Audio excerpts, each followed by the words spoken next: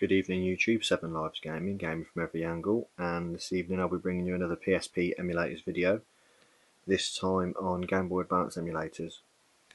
My other one did quite well, so I thought I'd do another one on different emulators.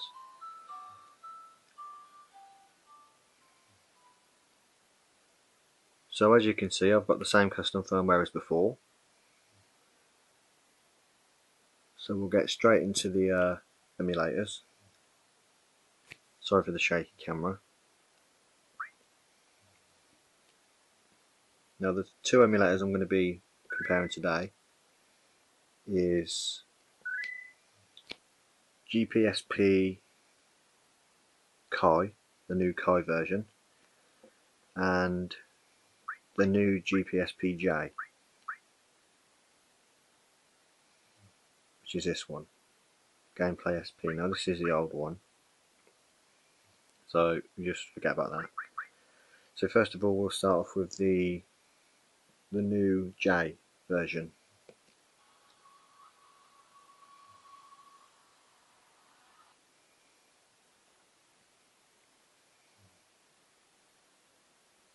Now this version of the emulator, um, GPSP-J, is just a uh,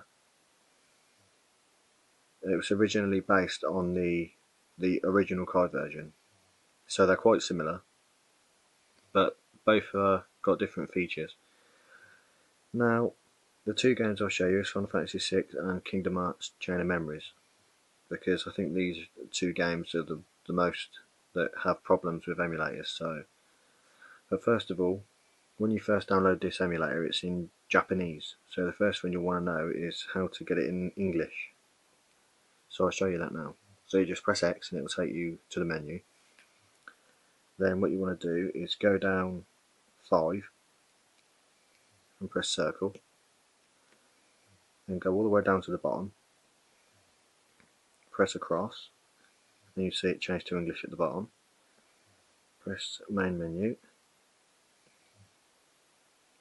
then go down to this or you can just press left um, trigger. Play a game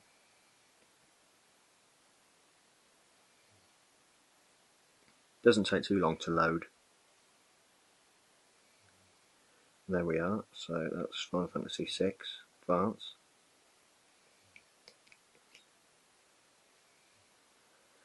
So it doesn't have a full screen mode, unfortunately. So this is as best you're going to get it. You can't really see because it's dark, but there's borders either side of the screen but that can't be out. It's the same with every game. You can't actually, you, I mean, you can change it, but you can't get it any bigger than that without actually zooming in and losing some of the picture. So as you can see, this runs with no faults whatsoever.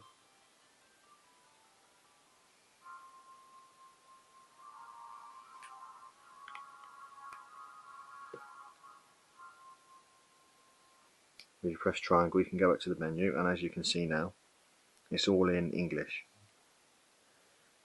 So you don't have to run FF6, you can run any game, but as long as you run a game, when you've changed the options and then press triangle, the menus will turn into English. So we'll go over the emulator quickly. We've got you know the save states, save state details, this um, screen capture, emulator options, gamepad options, analog stick configuration, load game, cartridge information, reset, return to game, sleep and exit. So the emulator options, pretty simple. You know we've got display mode, which is the user GU magnification 170. As I said, you can only magnify it, you can't actually set it to full screen. So frame skip, all this comes default anyway, so you don't have to mess about with it.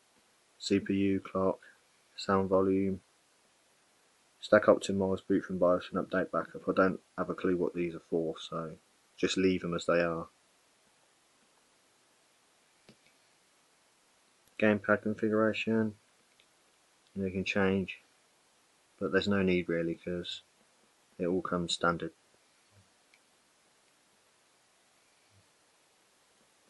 So,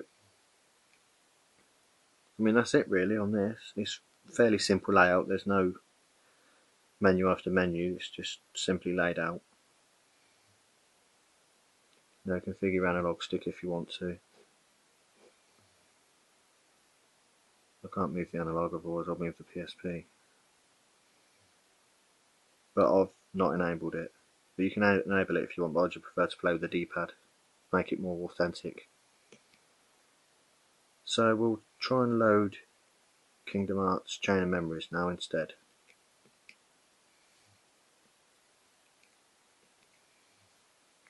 And as you see, could, could not load the game file, press any button to continue. So Obviously, it doesn't run every game, and it doesn't run Kingdom Hearts, which is one of the problem games for emulators, which is a bit gay, but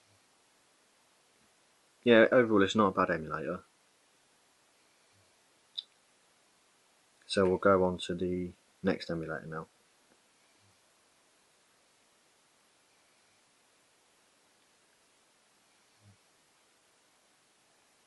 Right, so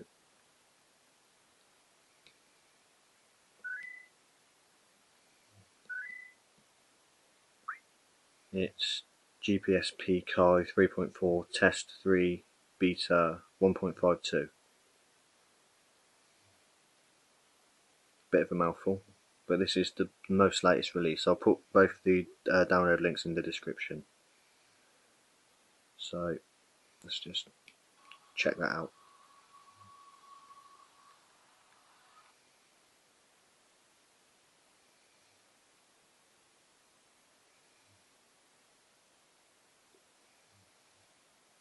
so first startup it will just say all these you know opening stuff and etc etc but I will say with this Kai version you do need the Game Boy Advance BIOS file I'm not going to put that in the description because you can download it from Google it's pretty simple to download it you know, but it's it's not a big file, but you just have to have this, otherwise it won't work. But it's it's not difficult. You can you can get that anywhere. So again, it loads up the blue menu. So same sort of layout as before, but as you can see, it's full screen. Um, slightly different menus. Standardly comes in English, so that's a, a bonus. So we've got, you know, video and sound effects options, you know, Game Boy Advance display scaling 3.2 scaled so what you want to do really is change that to full screen 16.9 so this has got full screen which is obviously better. Filter in make the graphics smoother. You can do that on the other emulator as well. TV output ratio so I don't know whether you, whether you can plug it into your TV well, you obviously can, but I haven't done that, so. No frame skip, audio emulation, all this comes as standard apart from the uh, display scaling, so you just have to change that yourself if you want full screen. That's no problem really. You know, screenshot as well. It's got the save states, control configuration, the D-pad pretty similar as the other one. Also comes as standard, so there's no need to mess around with that. Analog stick configuration again. That enable analog sensitivity, tilt sensor, all that.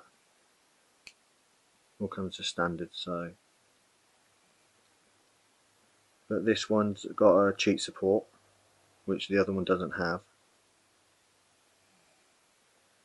Then we've got, you know, restart GBA, resume game, load new cartridge, and then miscellaneous options, which is the CPU clock speed, updates RAM, free home button and debug mode, fake fat, then obviously English language, boot mode, game card, this all comes standard so I wouldn't really mess about with it. So let's start up a game and see what happens. Keep pressing the wrong button.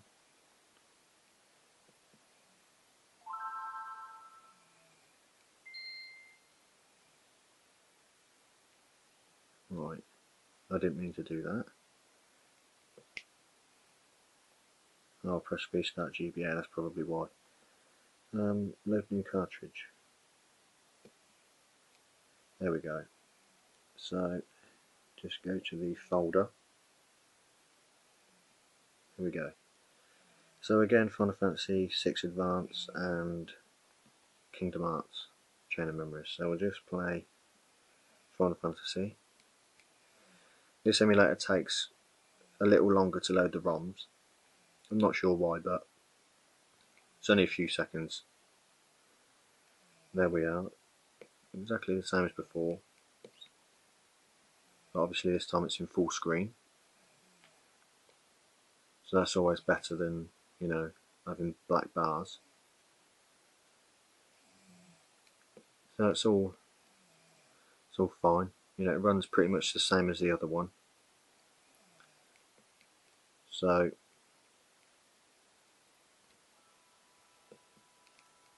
but obviously full screen is much better. No problem at all.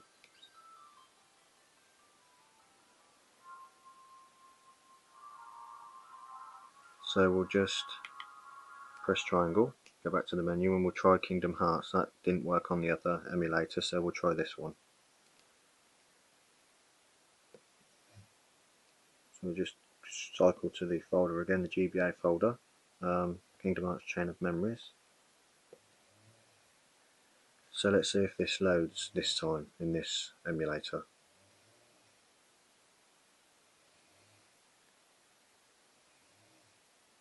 as I said takes a little while to load but yes it's loaded so obviously this emulator has a much better compatibility rate so we'll just you know cause just because it boots into the menu doesn't automatically it means that it plays the ROM so we'll just you know start a new game see what happens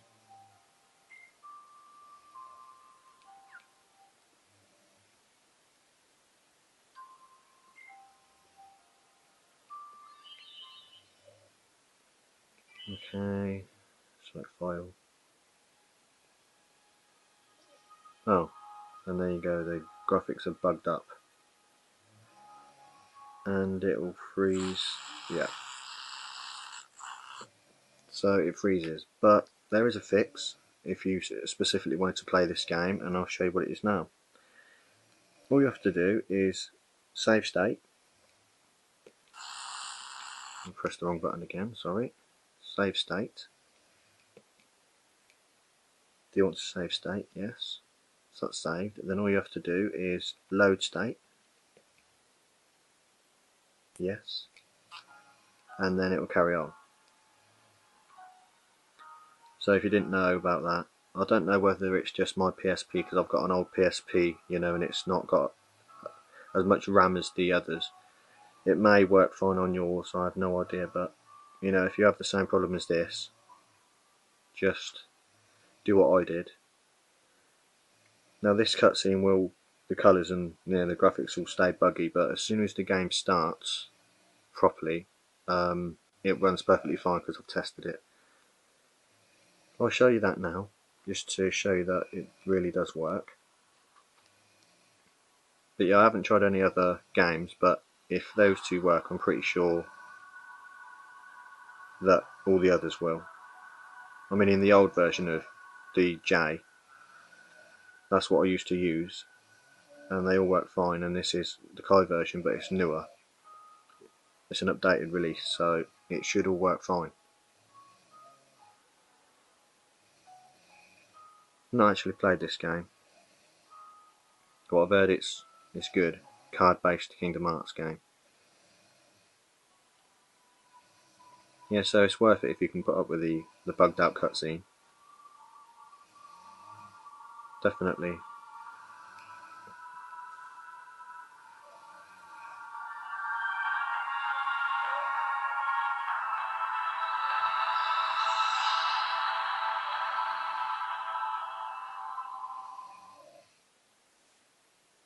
there you are, you see the graphics you know, it plays perfectly fine now.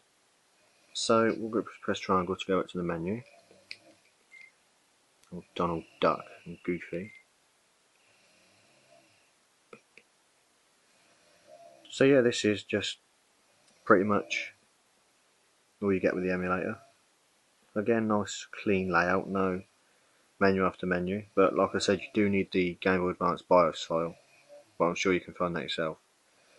Um, yeah, so if you ask me what's the best emulator, I'll definitely say this time um, it's the Kai version. Now, if you would have asked me a year ago, I'd have said the J version. Um, no doubt about it, hands down. But now, it's definitely the Kai version for a number of reasons, whether it be the full screen, you know, the better compatibility. But you know, everybody has their own opinion. So if you want the J version, you know, I'll put the link in the description for both. So yeah, I hope you enjoyed this video. I hope it was helpful to you. Um, if you if you like this video, please check out my uh, Mega Drive emulators. I'll put a link in there as well for that. So, thanks for watching. Um, check out my other videos, my gameplay videos as well. Uh, this was Seven Lives Gaming. Please comment, rate, and subscribe, and thank you very much.